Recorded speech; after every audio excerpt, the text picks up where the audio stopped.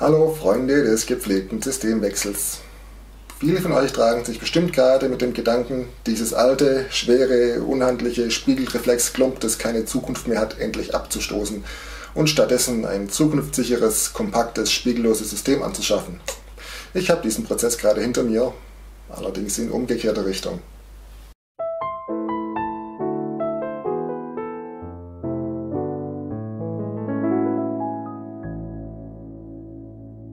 Zu Beginn fasse ich mal kurz meinen bisherigen Weg durch die Kamerasysteme zusammen. Es begann 2007 und damals war der Markt noch etwas übersichtlicher als heute. Gab keine spiegellosen Systemkameras, nur die mit Spiegel. Und die hatten auch alle noch kein Live-View, man hat halt durch den Sucher fotografiert. Es gab die zwei großen Hersteller Canon und Nikon und dann gab es noch ein paar kleine Konkurrenten, Sony, damals noch kleiner, ja. Und Olympus und Pentax, Pentax hatte ein super Preis-Leistungs-Verhältnis und sie hatten einen Bildstabilisator im Gehäuse, damals schon. Haben die Konkurrenten die meisten bis heute in Spiegelreflexkameras nicht zustande gebracht. Damals ist also meine Entscheidung auf Pentax gefallen und ein paar Jahre später habe ich die K10D durch eine K5 ersetzt. Und dabei bin ich bis zum Jahr 2018 geblieben. Ich habe mich auch immer sehr wohl gefühlt mit diesen Pentax-Kameras, allerdings weniger mit den Objektiven, die ich damals hatte vor allem das Standardzoom, das war damals ein Sigma 1770, das war dezentriert und eigentlich kaum zu gebrauchen. Und auch ansonsten hatte ich da nichts besonders Hochwertiges, war ja teuer. Und ich hatte eigentlich die Wahl damals, entweder ich tausche endlich diese Objektive aus oder ich wechsle das System. Objektive austauschen hätte bedeutet, ich hätte in Richtung Vollformat gehen müssen, weil irgendwann in ferner Zukunft wollte ich die K1 haben, die damals schon auf dem Markt war. Aber Vollformatobjektive waren zu teuer, war damals keine Option. Also ging es eher in Richtung Systemwechsel. Ungefähr in dieser Zeit ist dann meine Frau irgendwann zu mir gekommen und hat gesagt, sie hätte auch gerne eine Kamera. Eine möglichst kompakte kleine, aber sie soll mehr können als das Handy. Und da war für mich natürlich klar, wenn die deutlich mehr können soll als das Handy, dann muss es eine Systemkamera sein. Und wenn sie möglichst kompakt sein soll, Micro Four Thirds, da gab es zwar auch noch die super kompakten Systeme wie Nikon 1 und Pentax Q, aber die waren schon ziemlich am Ende. Und die Kamera, auf die es am Ende hinausgelaufen ist, war eine Panasonic GF7. Nachdem ich damit dann ein paar Bilder gemacht hatte und in Lightroom betrachtet und festgestellt, wie viel schärfer die sind mit dem einfachen Kit-Objektiv als vorher mit meinem 1770, da habe ich dann beschlossen, das ist ein gutes System, das nehme ich auch. Und meine Kamera wurde dann eine Panasonic GX80, mittlerweile ersetzt durch die große Schwester GX8. Damit hatte ich ein schön kompaktes System, immer noch die gleiche Sensorauflösung wie vorher, aber schärfere Bilder und war eigentlich ganz zufrieden damit. Hatte immer noch so ein bisschen im Hinterkopf den Wunsch nach Vollformat, aber na gut, es konnte dann noch ein paar Jahre warten und ich habe mir vorgenommen, wenn es dann mal soweit ist, dann vergleiche ich ganz ergebnisoffen, was der Markt gerade hergibt und nehme das System, das mir gerade am meisten zusagt. Ja, aus welchen Gründen wollte ich eigentlich dann zum Vollformat wechseln? Ich hatte drei Gründe oder vier, sagen wir dreieinhalb. Grund Nummer eins war mehr Auflösung. Ich habe normalerweise ja nicht so das Bedürfnis, ein Bild besonders groß auszudrucken, aber wenn ich mal eine Anfrage bekomme von jemandem, der das machen will, dann will ich auch die Möglichkeit haben, dieses Bild für diesen Zweck rauszugeben.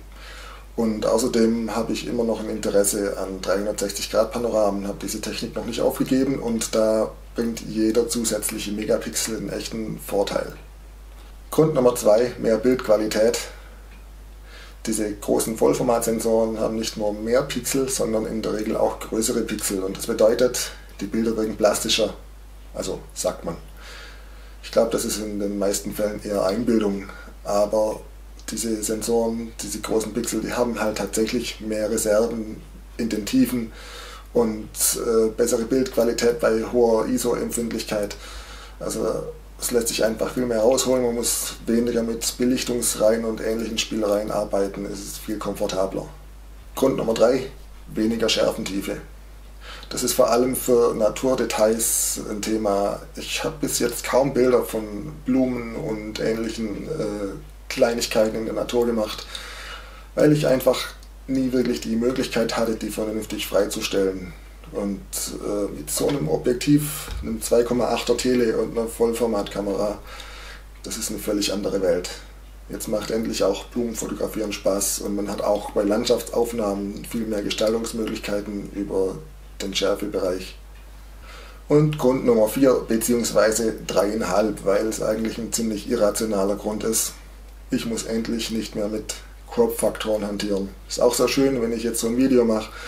Da muss ich nicht sagen, ich habe hier ein 35mm Objektiv. Das wirkt ungefähr wie ein 50er, auch wenn es eigentlich keins ist. Nee, also das hier ist ein 50 mm Objektiv und zwar ohne Wenn und Aber. Und 50 mm ist eine Normalbrennweite, wie sich das gehört und wie es gefühlt immer war. Ja, ich weiß, Mittelformat-Fotografen, die lachen mich jetzt aus und wie gesagt, das ist völlig irrational. Aber Fotografie ist nicht immer nur eine rationale Angelegenheit, es muss sich auch gut anfühlen und ich fühle mich wohl mit 50 mm als Normalbrennweite. Wie gesagt, äh, lacht mich aus, wenn ihr wollt, ich kann damit leben. So, und was war dann der Auslöser, dass ich mich tatsächlich entschieden habe, jetzt ins Vollformat einzusteigen? Da war zum einen ein Fotowettbewerb, bei dem es eine Panasonic Vollformatkamera, eine S5 zu gewinnen gab. Und da habe ich gedacht, so, das ist jetzt die Gelegenheit. Ich schicke mein bestes Pferd ins Rennen. Dieses legendäre Freiburg Winterfoto. Und wenn ich diese Kamera gewinne, dann ja, will ich den eigentlich behalten. Gute Frage. 24 Megapixel. Ich wollte eigentlich mehr Auflösung. Die Pentax K1 hat 36 Megapixel, aber Moment, ich wollte ergebnisoffen schauen. Und in dieser Zeit kam dann meine Frau wieder zu mir und hat gesagt, sie hätte jetzt eigentlich Lust auf Analogfotografie, würde sie gerne mal ausprobieren. Habe ich gesagt, ja, eigentlich habe ich da auch schon lange mal Lust drauf. Schauen wir mal, was es gibt. Und da bin ich natürlich gleich in eine Richtung gegangen, die ich schon kannte. Pentax. So. Bei dieser Kamera hier waren gleich zwei Vollformatobjektive dabei, 50 mm, 200 mm. Aber nee, ich wollte ja ergebnisoffen schauen. Also habe ich einfach mal meine Kriterien zusammengefasst und gefiltert. Erstes Kriterium war mehr als 24 Megapixel. Zweites Kriterium, ein in mehrere Richtungen klappbares Display. Drittes Kriterium, ein Bildstabilisator im Gehäuse und das vierte, maximal 2000 Euro Neupreis, dass man es gebraucht vielleicht günstiger bekommt. Also schauen wir uns doch mal an, was jetzt gerade auf dem Markt ist. Na, gute Auswahl. Und jetzt sortieren wir mal die aus, die nicht mehr als 24 Megapixel haben. Okay, und jetzt sortieren wir die aus, die kein in mehrere Richtungen klappbares Display haben. Und dann äh, schauen wir mal nach denen, die maximal 2000 Euro neu kosten. Und jetzt noch das letzte Kriterium. Moment. Okay. Ja, auch recht. Zum Glück war spiegellos kein Kriterium. Dafür hatte ich mich jetzt wieder für ein System entschieden, das schon seit Jahrzehnten etabliert ist und einen entsprechend umfangreichen Gebrauchtmarkt bietet. Im Gegensatz zu den ganzen neuen Systemen von Canon und Nikon und äh, Panasonic und wie sie alle heißen. Da gibt es tolle, neue, teure Objektive, aber für jemanden, der so auf Preis-Leistung schaut wie ich, hat Pentax da noch einen ganz entscheidenden Vorteil. Ja, dieser war eigentlich spiegellos, kein Kriterium für mich. Warum war es mir sogar recht, wieder bei einem Spiegelreflexsystem zu landen? Ein ganz entscheidender Grund ist der optische Sucher. Als diese Kamera hier angekommen ist und ich die ersten Bilder damit gemacht habe, das ist ein völlig anderes Gefühl, hier direkt durchs Objektiv zu schauen und eine ganz direkte Verbindung zum Motiv zu haben. Im Vergleich zu dieser spiegellosen Kamera, wo man immer ein digitalisiertes Bild vor sich hat also nur indirekt das Motiv sieht. Ich bin ja ein Typ, der ungern mehr Digitalisierung und Software und Elektronik und KI und so weiter benutzt, als nötig ist. Also ich, ich mache das ungern, wenn es keinen echten Vorteil bringt. Zum Beispiel so ein äh, Google Sprachassistent, was bringt mir der? Äh, wenn ich direkt eingeben kann, was ich suche und weiß, dass diese Anfrage eins zu eins so beim Server landet, warum soll ich dann erst äh, irgendeinen undurchsichtigen Spracherkennungsalgorithmus meine Eingabe verarbeiten lassen? Also ich finde es gut, dass es solche Spracherkennungstechnologien und ähnliche Sachen gibt, solange ich nicht gezwungen bin, äh, diese zu benutzen, solange ich auch noch die althergebrachte Möglichkeit habe. Und bei so einer spiegellosen Kamera, da habe ich keine Wahl. Ich muss das digitalisierte Bild benutzen.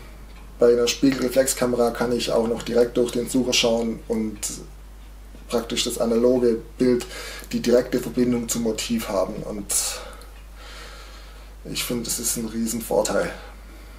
Ja klar, es gibt Leute, die sagen, äh, Spiegelreflex ist am Ende.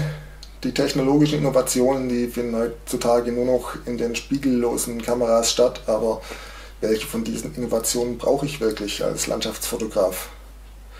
Also ich brauche keinen Augenautofokus. Ich brauche keine Serienaufnahmen mit 30 Bildern pro Sekunde oder was auch immer. Und äh, ich brauche auch kein Touchscreen, wo ich versehentlich Einstellungen verstelle. Ich brauche keine High-End-Video-Funktion in dieser Fotokamera.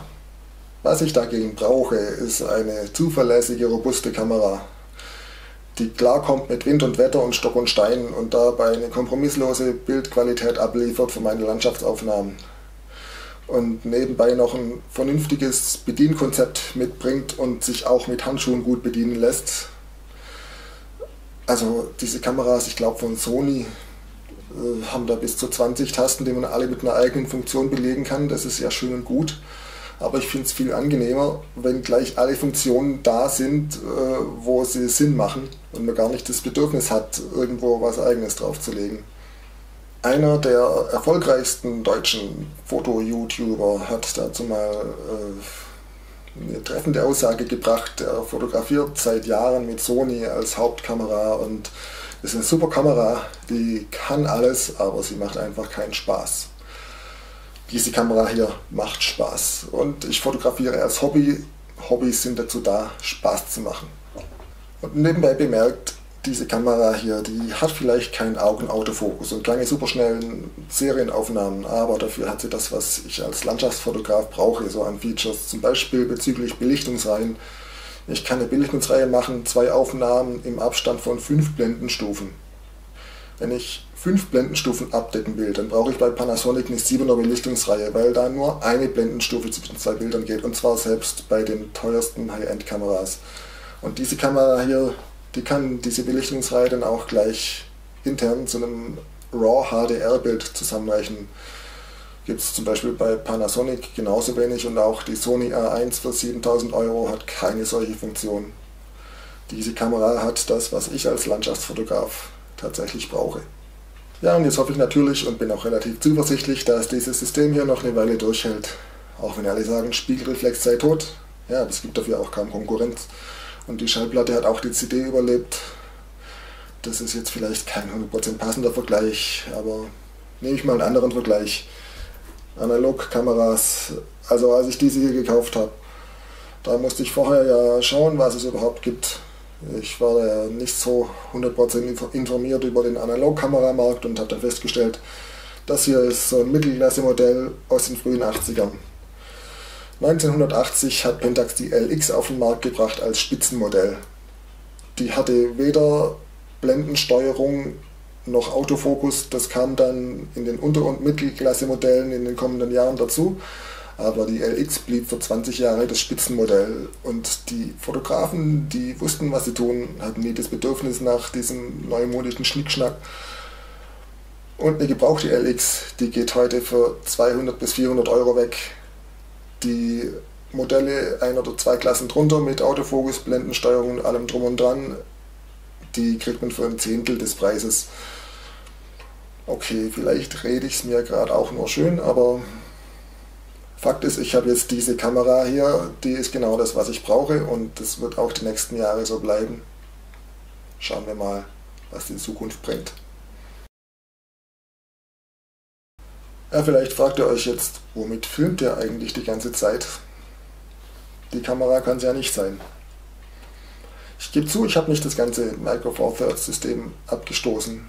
Ich habe eine Kamera, eine GX8 von Panasonic behalten und die filmt und die kann das deutlich besser als dieses Riesending hier.